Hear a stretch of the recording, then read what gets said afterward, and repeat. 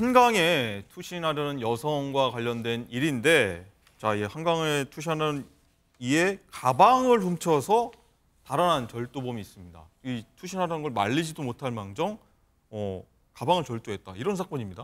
그렇죠. 이 영상 보시면서 많은 분들이 뭐 인류애가 사라졌다. 인류애가 사라졌다. 네, 이런 얘기를 하고 있어요. 사실 영상을 보면은 조금 더 충격적이라고 볼 수 있을 것 같습니다. 마포대교에서 투신을 시도하려는 사람이 있었는데 가방을 두고 간 것이죠. 근데 지금 네. 보이는 것처럼 지금 자전거를 타고 지나가던 행인이 이제 투신을 하기 위해서 두었던 정리해 두었던 가방을 가지고 달아나는 모습이 네. 그대로 포착이 된 겁니다. 황당합니다. 그렇죠. 이게 투신을 시도하는 일을 구하기 위해 어, 마포대로로 경찰이 이제 향하고 있었는데 CCTV를 확인해 보니까 이 가방이 절도된 걸 확인할 수 있었고 이에 따라서 이 자전거를 타고 도망가고 있는 이 해당 절도범을 함께 어, 이제 쫓아가게 됐는데 또 마포대교 인근을 지나가고 있던 이 오토바이 이 시민이 이 범인을 검거하는 데 절정적인 역할을 아, 시민이 해줬어요. 잡았습니까? 네, 지금 이제 경찰이 쫓아가고는 있었지만 도로가 매우 좁았고 요리조리 피해가다 보니까 바로 검거가 되지 못하고 어려움을 겪고 있었는데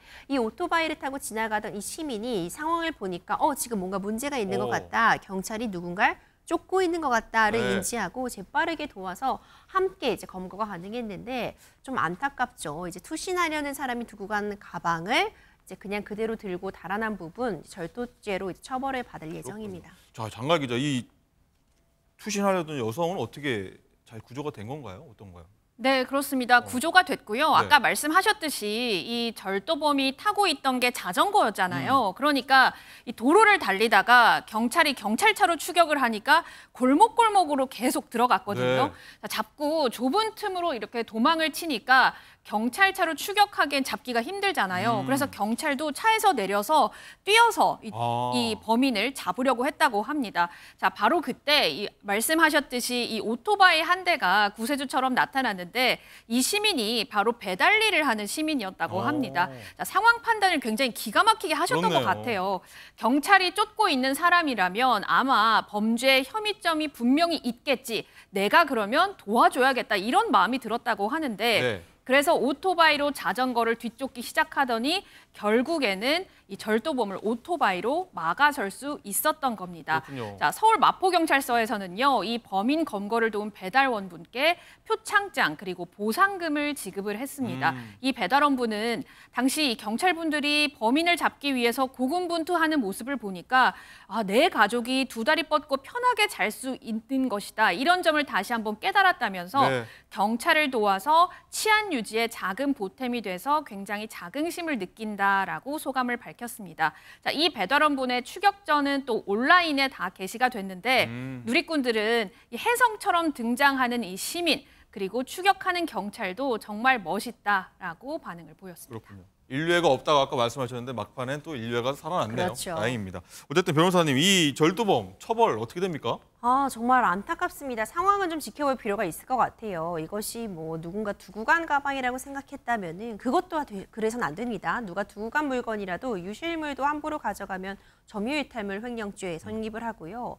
만약 이것이 이런 부분, 누군가 지금 상황적으로 지금 주인이 있는 물건임에도 불구하고 절도할 의도를 갖고 있었다면 절도죄까지도 가능할 텐데 형량의 차이가 있을 뿐이지 둘 다 불법적인 행동 맞거든요. 네. 그렇기 때문에 이것이 뭐 유실물 일지라도 아니면 누군가 주인이 있는 물건일지라도 함부로 가져가서는 안 된다는 점은 다시 한번 강조드리고 싶습니다. 어딘가 물건을 보더라도 그대로 두시라 주인이 가져갈 때까지 그만 그대로 두시라 이런 말씀이신 것 같고요.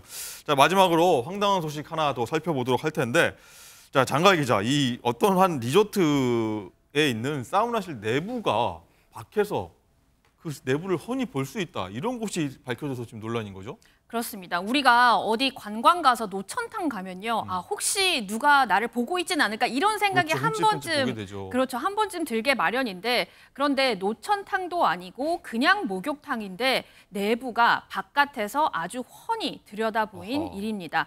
자, 지난달 15일 밤 8시에요. A 씨가 강원도 평창의 한 리조트 뒤쪽 산책길을 걷다가 이 건물 2층에 있는 남성 사우나실을 이렇게 바라보게 됐습니다. 자, 나, 이 사우나 내부에서 이 알몸으로 걸어 다니는 이용객들의 모습을 맨눈으로도 아주 확연하게 볼 수 있었다고 하는데요. 황당합니다. 네, 보통 이 목욕탕 형광등이 굉장히 밝잖아요. 네. 그래서 어두운 어두컴컴한 밤에 목욕탕 불만 확 켜져 있으니까 너무나도 잘 보일 수 있었던 겁니다. 자, 그래서 A 씨는 이 몸이 고스란히 노출된 사람들이 사진이 찍히거나 하는 2차 피해를 당할 수 있기 때문에 그렇죠. 리조트에 일단 전화를 걸었습니다. 그랬더니 리조트에서는 아, 사실 우리가 목욕탕 내부에 블라인드가 있는데 이 블라인드를 그날만 못 내린 것 같다. 오. 그리고 현재는 저녁 6시까지만 이용을 하니까 운영을 하니까 앞으로는 조심하겠습니다라고 했습니다. 자, 사실 이런 일이 처음 있는 일은 아닌데요. 자, 앞서 지난 2021년도에도 제주 한 5성급 호텔의 여성 사우나가 이 내부가 외, 이 내부가 외부에서 훤히 들여다 보여서 경찰에 신고가 접수된 적이 있습니다. 네. 자, 그때도 호텔 측에서는 아, 실수로 블라인드를 우리가 못 내렸습니다라고 했거든요. 오. 자, 그런데 단순히 좀 실수라고 하기에는 어, 사진이나 영상이 찍히면 그때부터 피해는 정말 어마어마해지잖아요. 어, 그렇죠. 그래서. 네, 그래서 좀 호텔 측에 제대로 된 정책이나 조치가 좀 필요해 보입니다. 변호사님 어떻습니까? 이 리조트 법적 책임 물을 수 있습니까?